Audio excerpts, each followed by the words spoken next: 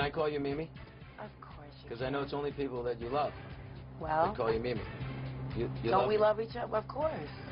A new name and a new sound for Mariah back in 2005. Hi, everybody. Welcome back to Celebrity Expose with Dan Tony Potts. Four years after Mariah's disappointing soundtrack, The Glitter, and subsequent breakdown, she rose out of the ashes, and Mimi's emancipation turned into a reinvention.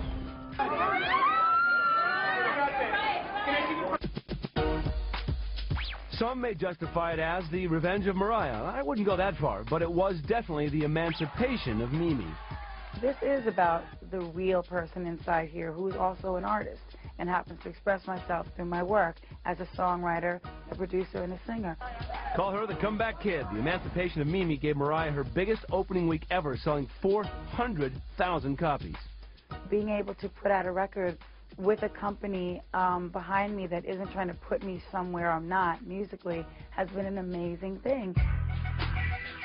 The rebirth of Mariah also gave her the biggest selling CD of 2005 with more than 5 million copies sold.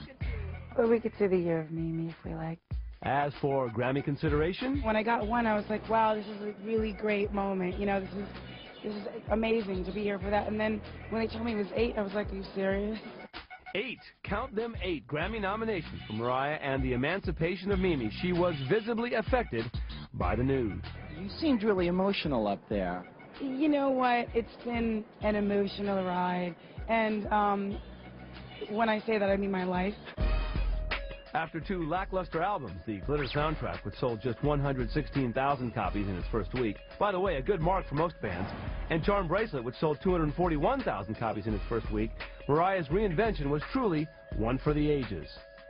We all have to go through storms, and you know what? You feel a whole lot better at the end of it, but you go through it, and it's worth it. Mariah finished 2005 with a bang. Along with her top-selling album of the year, she also nabbed another number one single, her 17th. From the 17th number one, just last week, it was right when I was leaving for my Christmas vacation, and my friends threw me a sexy 17 party, and it was really fun. 2005 was certainly the year of Mariah. I truly believe for anybody out there, no matter what it is, if you have faith and you believe in something and you work really hard, you know, you can achieve it. It's been a blessed year. It really has. 11 albums, more than 150 million copies sold worldwide, and five Grammy Awards. Since the debut of Mariah's first album back in 1990, she has gone on to become a pop music legend who dominates the charts. And it all started when an 18-year-old Mariah passed along her demo tape to then Columbia Records head Tommy Mottola. I went into this like just excited about making a record. I mean, I came from not having absolutely having absolutely nothing. I mean, my mom did her best and we did whatever. I decided as a teenage girl to be like a, a vagrant running around with a demo tape that ate one bagel that we basically begged the guy from the deli to give us. 20 years after Mariah was just scraping by and trying desperately to get noticed, she had scored her 18th number one hit, Touch My Body, surpassing Elvis Presley with the second most chart-topping singles. She did it by never losing focus from her early days. When you set out to be an artist, you want to get it out to as many people as possible, and that's what it's represent. You know, it's a representation of. If they're feeling a song, they spend their hard-earned money. They they call the radio stations. They request the song. I mean, that's very important to me to um, to feel that acceptance from the public. After breaking out in 1990 with her self-titled album she co-wrote, Mariah's now legendary songs, Vision of Love, Someday, and I Don't Want to Cry, earned her two Grammys, Best New Artist and Best Female Pop Vocal Performance. She became the best-selling female performer of the 1990s, having released seven multi-platinum studio albums. I've done, you know, albums quicker than most people do albums, and I think that's part of the reason. And my fans are really loyal and dedicated, and I owe everything to them.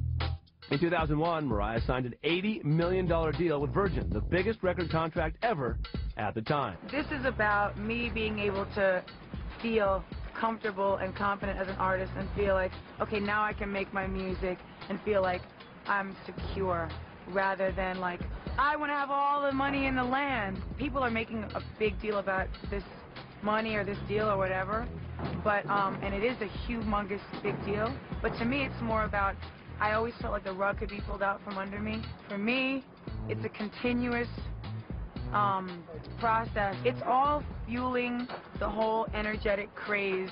It's a fun fest, but it's also like a little bit sick. it's all pressure.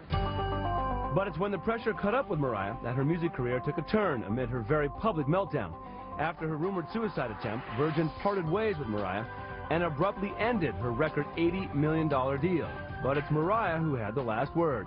It's great to have success, but I could retire tomorrow, Right. and I've already achieved, you know, far more than my goals ever were. In two minutes, the Mariah beginnings, how she overcame near poverty and her struggles growing up in a biracial family. Plus, we go back to the school where Mariah realized her dreams of becoming a star. Then, Moments with Mariah, how this glamorous diva shows off her fun side and makes a dream come true for Nancy O'Dell. That's all coming up when Celebrity Expose returns.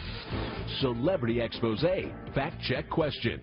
Despite a rumored feud, which fellow diva did Mariah team up with for a hit collaboration? Find out next.